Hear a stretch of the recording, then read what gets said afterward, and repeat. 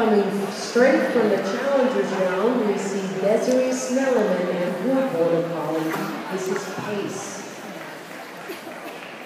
Pace is looking to best the time of 31.16. Desiree will really have to up the pace. Oh, wow.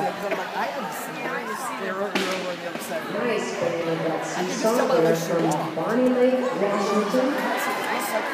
She's got a red, Excellent red lead jacket. for.